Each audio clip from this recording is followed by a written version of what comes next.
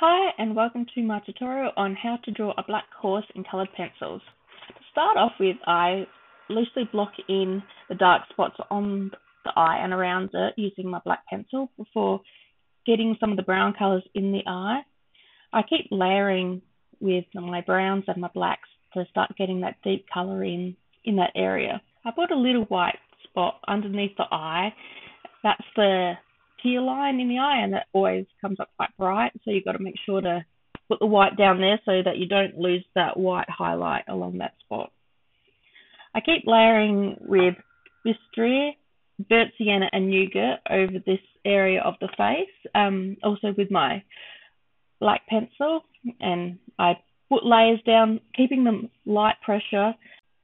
Then when I've got several light layers down, I go over it using a paintbrush with an odorless solvent and I don't have much on the brush and I usually do when I paint it's in small circles or strokes which follow the direction of the fur or the hair on the animal. At this point I'm just mainly getting in a good layer of dark colours to get the dark shadows in because it is a black horse on a white paper it takes quite a lot of layers to get that dark into the paper so that I get the deep, rich color that I'm looking for in the end product. This means that I'm not focusing on the details at this point. I'm just loosely blocking in the colors in the different areas. And I'll come back and do the details later.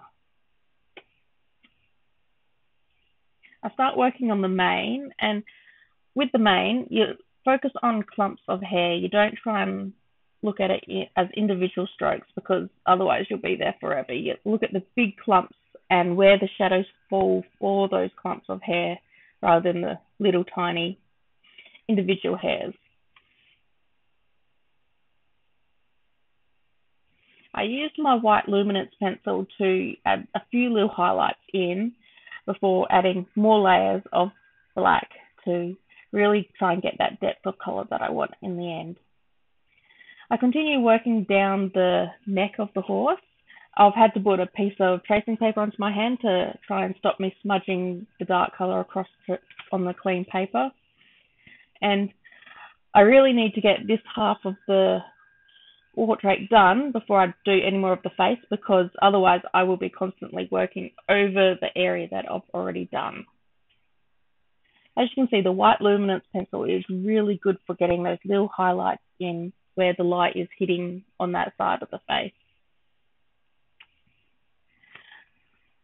continue blocking in the dark colors. Later on, you'll see I actually come back and add a mane in this area going down the full length of the neck because the photo I was working from had the mane flipped over onto the other side of the neck for that section, but it didn't look right once I'd locked it all in, so I added a mane in.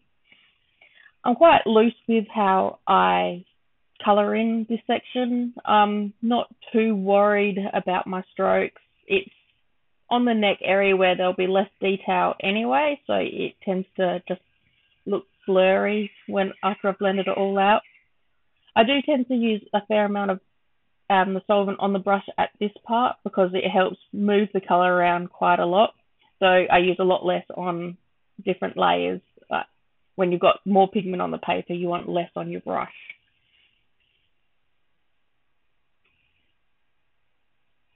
Now that the neck is mostly finished or blocked in, I come back to start adding in some of the details on the face. Um, I pay close attention to where those little veins are on the face, those little tiny bumps that really define how the muscles are across the face of the horse, and in horses they are very defined. So that is really important to pay close attention to. I've used a little bit of Indian red along the side of the face because he this particular horse does have uh, some nice more reddy brown markings in that area and once I go over it in black some more it will really come up to a nice colour. I keep layering, adding more black on top of the other colours, um, as this horse is very dark. um, I have to keep adding more and more black layers to get the rich color that I'm looking for. I've had to hype up the contrast and brightness in the reference photo to figure out where the shadows are on the right side of his face because in my photo it's all dark but using Photoshop I've hyped up the brightness so that I can see where those subtle highlights are on the right side of his face and so that I could add them into the portrait. Otherwise it would just all be dark and it wouldn't look as realistic. As you can see that last blending um, really made the colours become quite rich in the portrait. I hope you've enjoyed this tutorial and thank you for watching. See you next time.